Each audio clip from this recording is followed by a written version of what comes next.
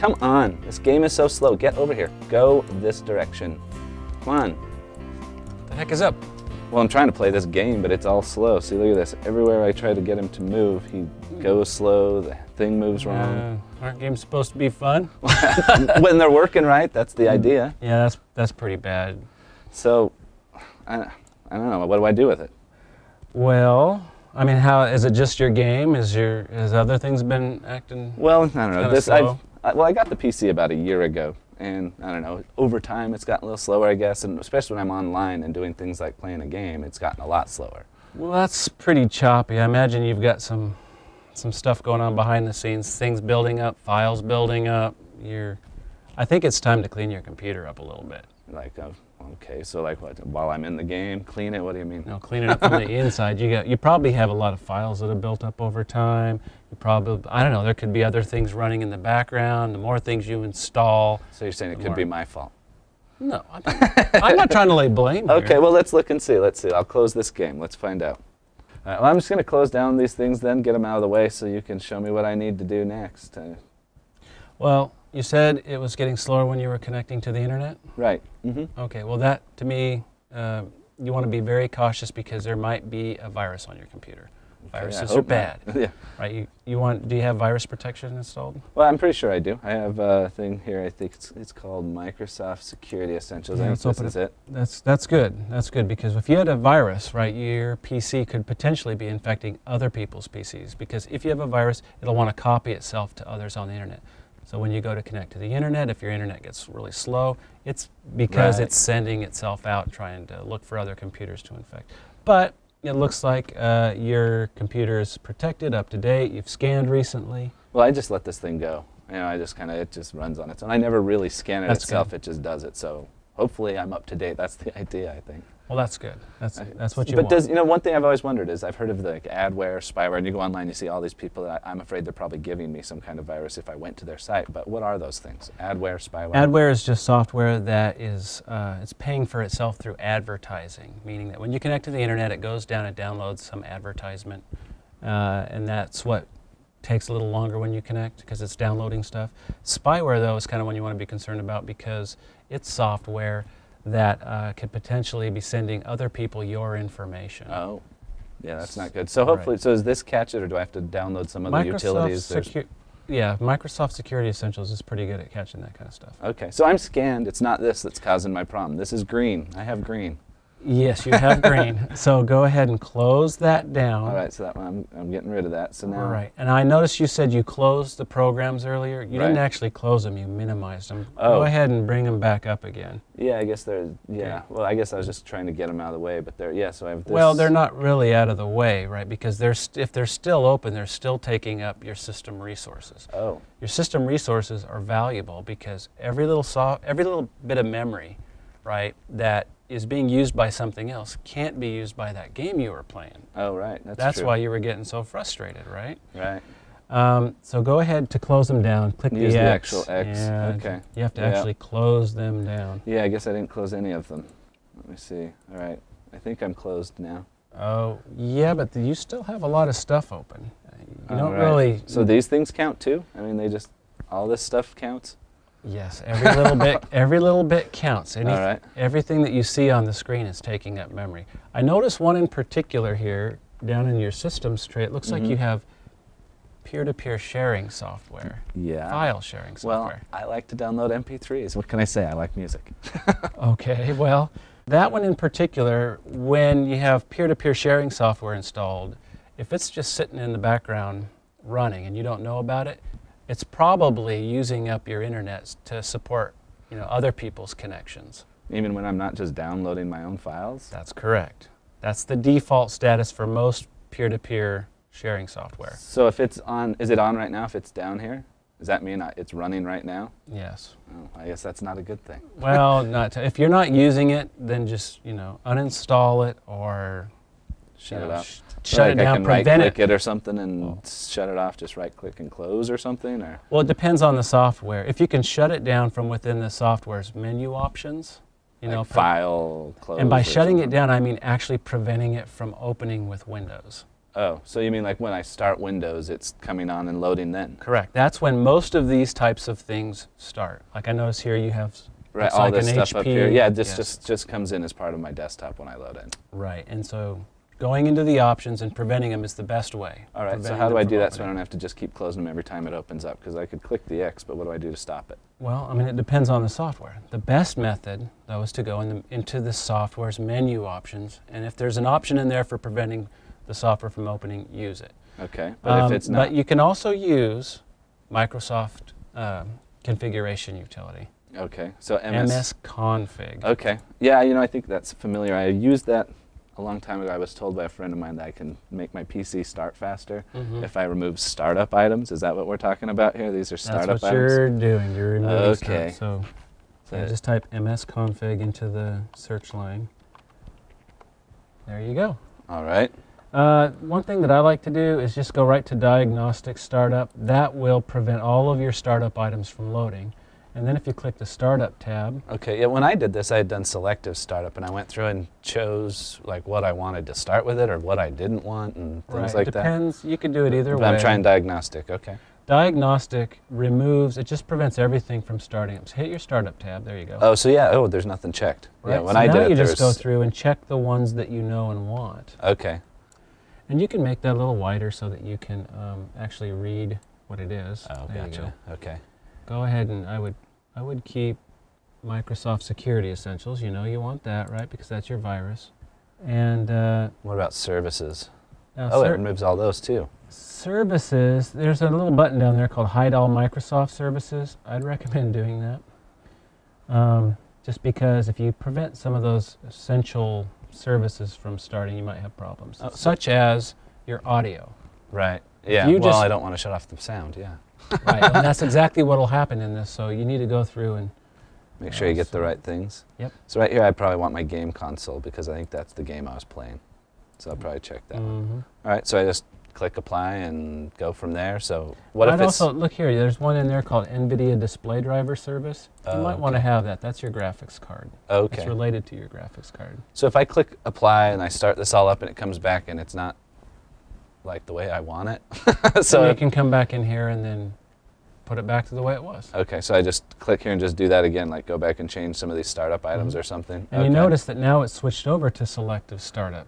Oh, because I made selections because in you there. added selections. That's correct. Gotcha. Okay. So whatever I do here, it's not going to kill my PC. I can just come back and add some more checkboxes in and do it Mhm. again to get it. Or just put it back to normal startup to, be, to bring it back to the way it was. Okay. Cool. All right. Well, I'll just click apply then. Hmm And then OK. Okay. It's going to want you to restart your computer Right, Okay. and then restart. All right. All right. So we're back. It's restarted. Yep. You notice a lot of things are missing now. Things Yeah. that weren't that were there before that aren't there now. They're- Missing my little media center thing So- here. Right. So all of those programs were once taking up, you know, valuable memory that your game could be using. Now they're not there taking up memory. But while we're here, you should you should go ahead and uh, uninstall the things that you're not using anymore to give you more disk space. Okay. So I like this program here. I've you know some of these icons they come on the desktop. I've never done anything with them. Is like that what you mean? Just Well, remove stuff sure, like if you don't want I don't want. yeah, if you don't want it, you don't use it, uninstall it. All right. So I just put it in the recycle bin. Okay, that did something. Um, Yeah, that did something. It moved it into the recycle bin, but it didn't uninstall the program. So all Oh. of, all the hard drive space is still taken up by that program still being there. Okay. So you need to actually go into the Windows uninstaller. So throwing it away isn't getting rid of it. Okay. So I No. okay. What do I do then? You've just removed the desktop icon. Go to click Start, and then go to Control Panel. That's where the uninstaller is. And then under Programs, you see Select Uninstall a Program. Okay.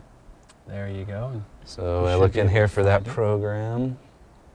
go through the list. Oh, there it is. What you want. All right, and then I just click uninstall on it. And then follow the screens. All right, so just click yes and follow what's in there. Yep. Okay. So that's gonna uninstall as that goes through here. Mm-hmm. Okay, so that's so then what? I've uninstalled the programs. Well, you've uninstalled a program. There's a lot more programs in the list. You could just go through here and go shopping. Um, there are some that are more important than others. Uh, like, for example, if you see one in there called Python, don't uninstall it because that's a script that HP puts on some of its PCs. Other than that, if you're not using the software program, just uninstall it. You'll get your you'll get a lot of important um, hard drive space back. Okay. Um, also, you'll have these things called temporary files. You mentioned that your computer was getting slower over time. Right.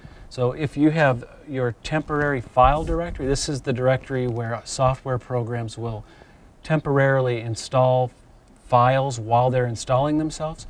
But a lot of times those files are left behind. And if that if the files kind of build up over time or get too many, then it takes a lot longer for things to install and for other software programs that use that directory. It's like plaque buildup or something. Just keeps Exactly. building up So- over time. Okay. So brush your teeth, brush your computer's teeth um, by going in and removing that. Microsoft has a great tool called the disk cleanup utility. Okay. That gets rid of a, a lot of temporary files. All right. So uh, let's clean up these disks. What do I do? I'm assuming I'm clicking start and going somewhere. You assume correctly. You Okay. Go, except the disk cleanup utility, you want to click start, then go up to accessories. Okay. Find see. accessories from the start menu, Oh, right there. there. It is. Okay. Okay, and then go down to system tools, All right. and in there you should see disk cleanup. Ah, there it is. Yeah. And I just select my C drive. That's the drive I'm on. Uh, Okay. unless you have multiple. Oh, and drives, it's doing stuff C. already. It's scanning for something. It's calculating right now. Yeah, but it's right now it's going through and it's looking at all of the different types of uh, directories and what files are in there. So it's trying to find. This is this is trying to Ah. find the source of the plaque. yeah. So if you look through here, now it's going to give you some recommendations, some of them that are already selected.